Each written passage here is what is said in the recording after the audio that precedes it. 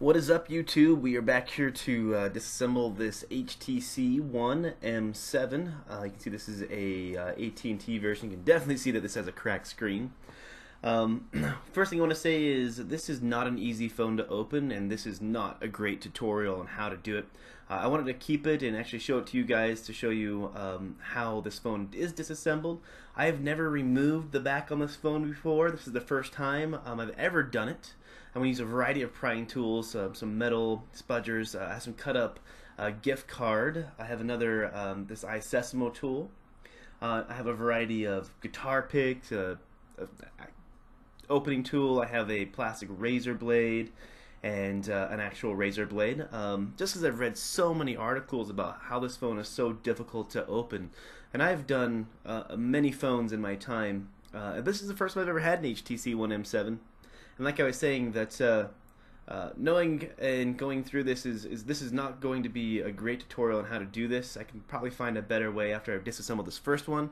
But if you've never disassembled a phone, or you have, and you want to try to disassemble an HTC One, uh, this is a pretty good video to watch as you can see what to expect.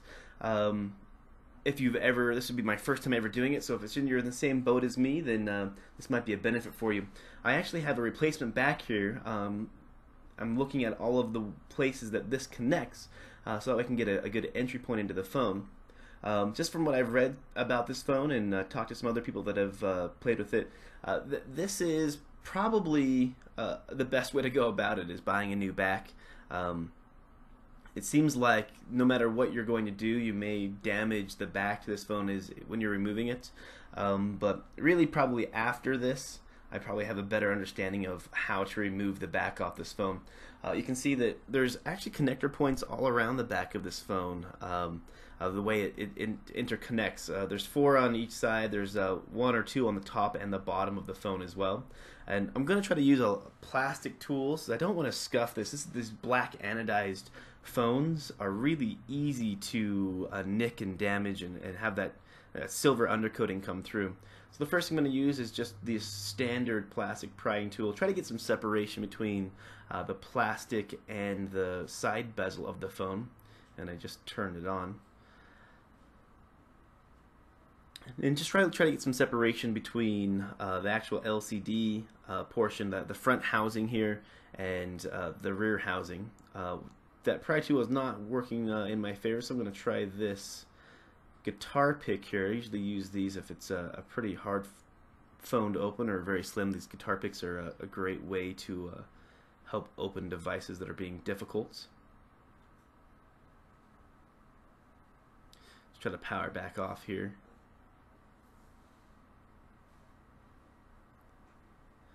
Now, even though this phone is completely shattered, even the LCD is broken, the digitizer still works on it, uh, which is interesting to me because I have fix a couple Nexus 4 and other devices, and once you shatter the screen, uh, that's the end of it. So still trying to get some separation between the front housing, the bezel. You can see there's like a shiny gla a glossy portion of the screen, and then there'll be a, a basically a flat black side part uh, that's plastic. Uh, the bezel portion around the LCD is actually plastic as well. Um, so I'm gonna try this razor blade. I actually got a little bit of separation in there. Um, I really truly want to keep this back because uh, it's the the OEM version. The one I have is a just a replacement OEM, but it'd be nice. Now it seems like you're putting a lot of pressure on the LCD. You can see that it uh, distorts as I'm trying to disassemble this phone. And I'm not really concerned about breaking it as it's already shattered, um, but trying to see when I work on this device with a, a, an LCD that's okay, how, what can I do to uh, really get into it without damaging anything? That's looking a, a, little tricky. Start down here at the bottom. This part seems, actually the bottom seems like the place to go. Uh, got a lot better separation down here. Maybe starting at the bottom would be the best way to do it. I'm using some plastic cut up gift card to see if I can get it in there. I know there's a connector right here on this corner, um, but I'm really having a tough time here uh, getting any separation between the housing and the side. Normally it would just clip off on a lot of other phones where this uh, M7 is put together so tight that it's really, really difficult to uh, start to separate. Try another piece of gift card here. I know there's one right here, but it is being really, really tricky to get into.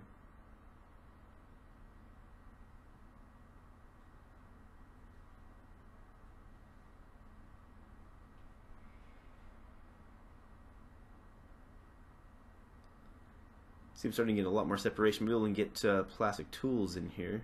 To be honest with you, I thought by now I would have unsnapped at least one of these, but it is just a real pain. So I'm just slowly sliding my uh, gift guard piece down the back side of the phone. They're trying to get some separation. But it looks like I have to go back to this guitar pick here and the combination of uh, kind of separating it in the middle and then moving my gift card um, or any other plastic tool down kind of the side where that button's at. Uh, then removing it and just kind of trying to pry it in there. What I'm trying to do is push it down far enough to depress the latch um, that holds this little piece in. If I can get this back separated, then I can start moving down the side. Um, but it's really sticking in there. Right where the actual latch is at, um, it looks like um, it just doesn't want to open.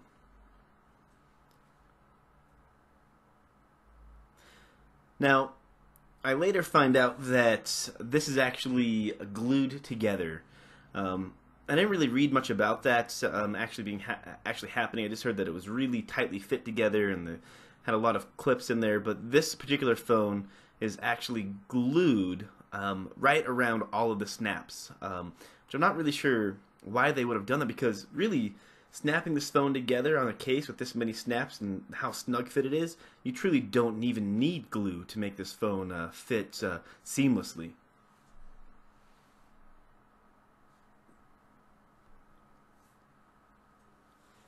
So still trying to work with my plastic tools. I don't want to give up on them yet. Um, I think that I don't want to damage the uh, anodization on the phone itself.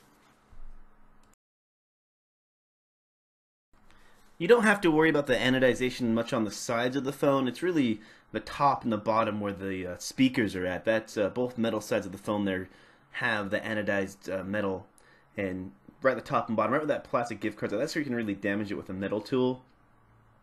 I'm just trying to use this plastic razor blade because um, it's got a very thin edge to really start to separate it, and see if I can't make some uh, room down the side of the phone here. Try to use this pry tool to start to separate a little bit more as well.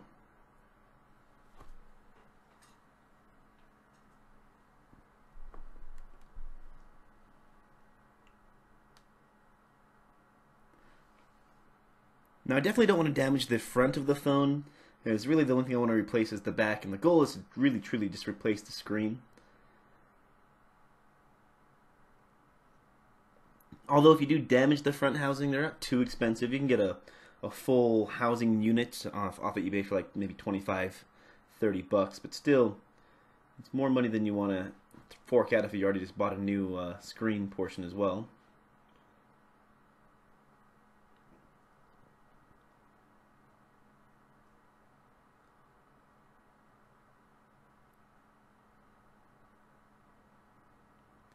Well, really just not having a lot of luck trying to get this separated. I'm not making a lot of headway here.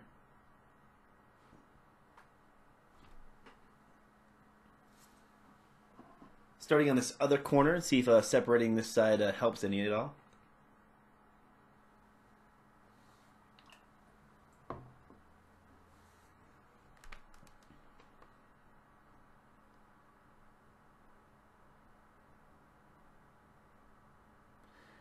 Know, it's uh, been a bit. It's been a good few minutes of trying to open this phone to no avail. So I'm going to go ahead and try to use a uh, metal tool to give me more separation right in the middle. Then use this gift card to, uh, piece to see if I can't just pop this piece out. Just checking to see if I scratched it, which um, I didn't. Although it looks like I might have nicked down here just at the bottom a little bit. So maybe I will just stick with my plastic opening tools. Just trying to push that gift card piece down to hit that snap that's down there, but really truly does not want to come apart. Try to pull it back with this other pry tool I have.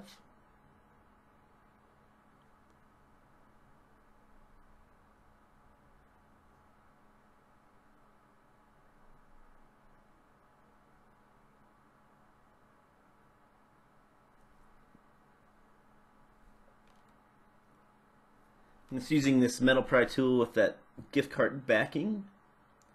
See if that uh, will help me not scratch the anodization there.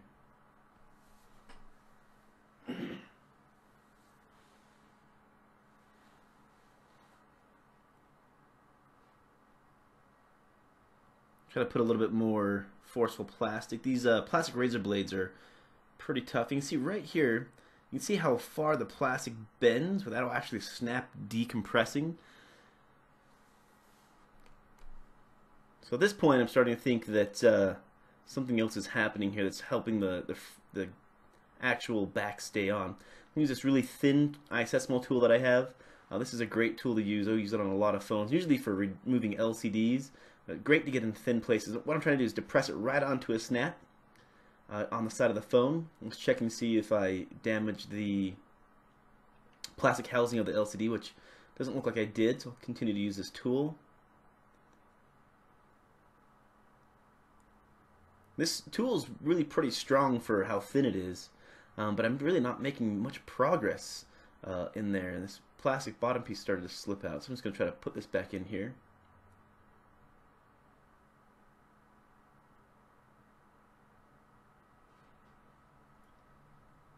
I got a little bit of separation that metal tool, so I'm going to keep prying with this plastic pry tool.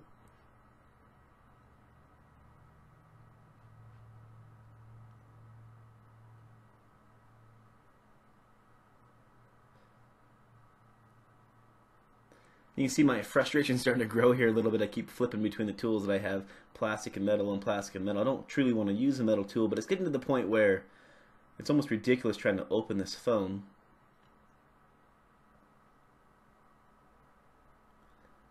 Going to insert that tool in there, really try to uh, push down on the pin that holds it together.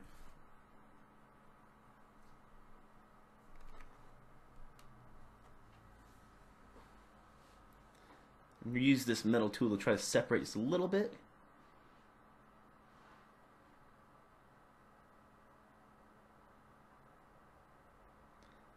Now I have got a little bit of separation uh, between the plastic and the bezel, but it's really, really not wanting to come apart. So I'm just going to try to force this down right on a snap, see we can't get it started.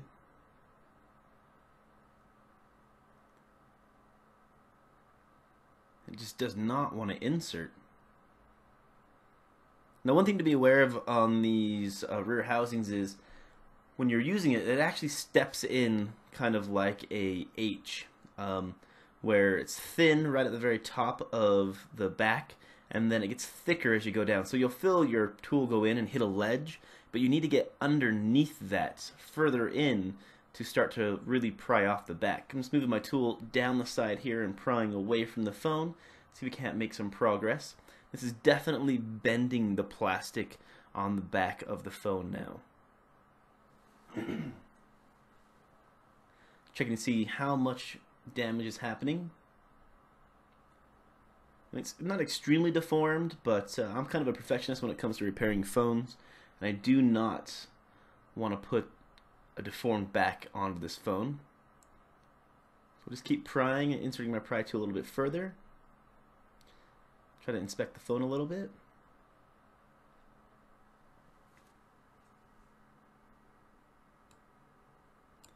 I've heard a lot of people say how difficult this phone is to get into, and it it truly is the most difficult phone I've ever tried to open. Now there's looks like there's feels like there's a snap on this side here as well, which I'm gonna try to get into. See if I can't get some separation going on this side.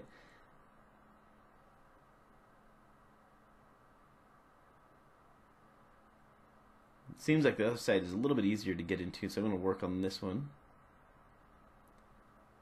Trying to insert my pry tool and pull away.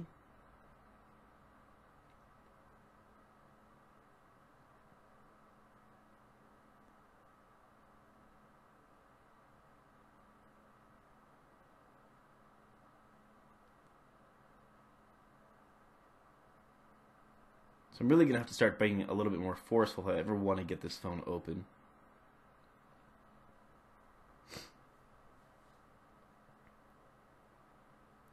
Now remember, before you actually try to take this phone apart, make sure you eject your SIM slots. Definitely don't want that in there.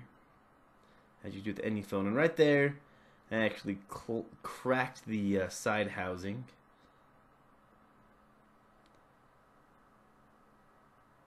So I'm putting my pry tool in and pulling that away. See there you can see the top portion that peeled off.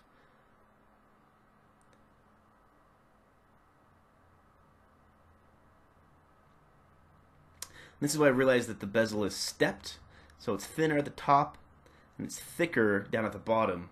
I'm trying to show you that right here, right where the snaps are, it kind of steps in. So that will tell you that you have to put your pry tool in very deep into this phone to get the back off.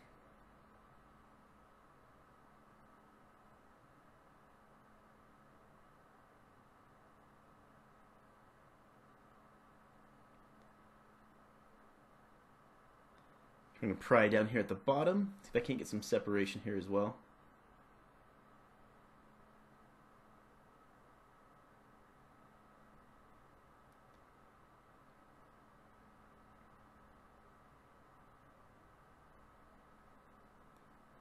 Still, with all of that prying, I'm not getting a lot of separation all around the phone, so I'm trying to just use this plastic tool around the anodized metal so I don't damage it.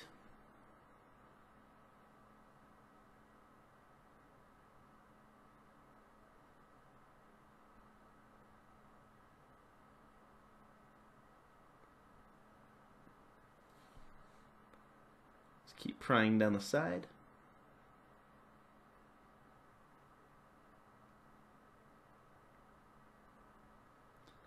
Starting to get some separation here.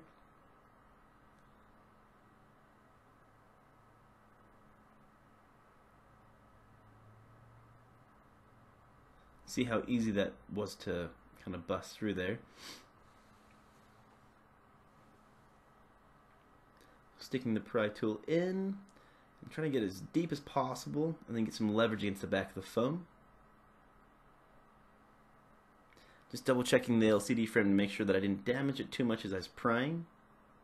And looking to find out exactly where those snaps are.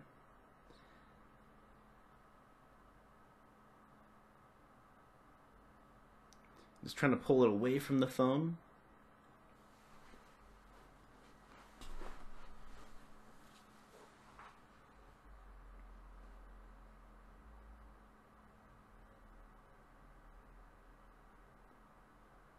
Still not having a lot of luck. Try down here the corner as well.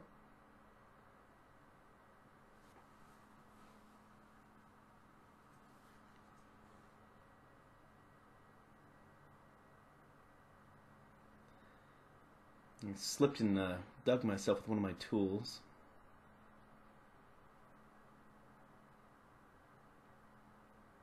It's a dangerous business opening this phone.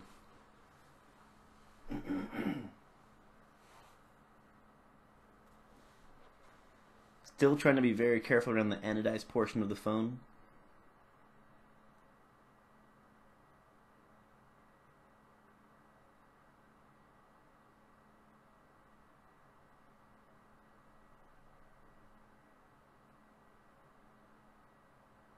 Starting to make a lot more progress here. It's prying away. I'm sliding my tool down and trying to pry it up.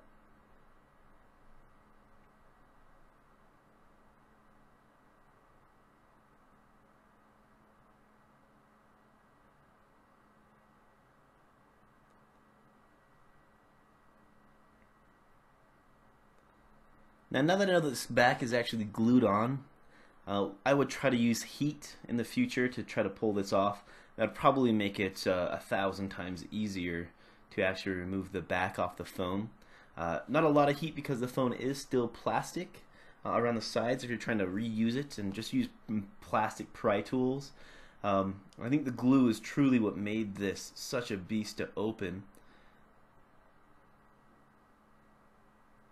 Because even though if I hit the snap and I was moving my pry tool down, glue is holding the bezel on, on other places. Here I am prying it away from the phone.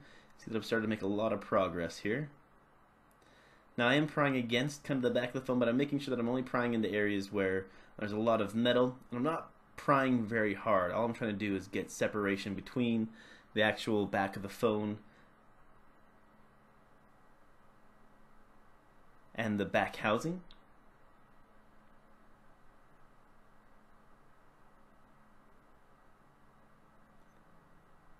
Just inserting my tools to make sure that separation, that gap stays there.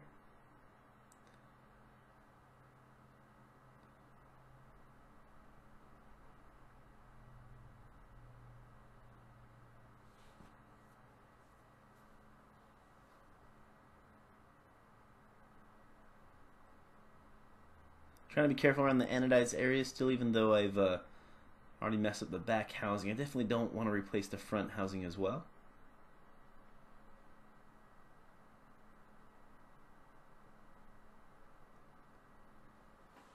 We made a lot of progress in this housing. It's taking its uh, sweet time coming off still, though. Even though the one side is unpopped or unclicked from the actual rear part of the phone, it still just does not want to come apart.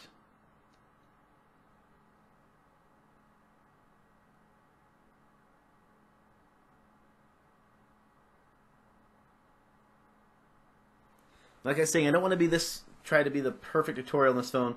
I just want to show you what difficulties you may run across if you were uh, to try to open this phone for the first time yourself. You can see that it's definitely not the easiest phone to open uh, compared to the other phones that I've done.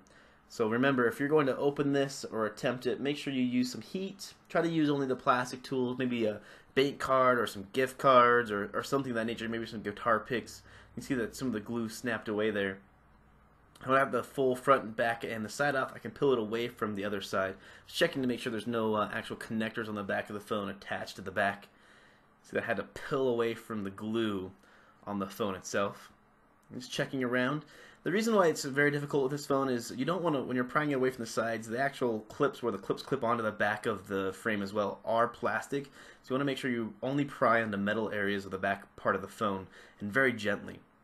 Now, I'll continue to replace the glass on this phone. You can definitely watch that um, as I remove that. I just wanted to show you really truly how hard this phone is to open for the first time. So, uh, like I was saying, I'll use a little bit of heat. Now, I'm going to be doing a housing exchange on this phone, so I'm turning a, a glacial silver to a, a black. I'll probably try a few different uh, options on that one, have a lot more success. I'll try to put the link in this video, so if you want to watch uh, maybe a, a, better way to open the phone, you can actually watch that link as well. We'll go ahead and replace the screen on this. Uh, hit the link in the bottom right here for the video to replace the screen. Thanks for watching, you guys, and I'll see you on the next video.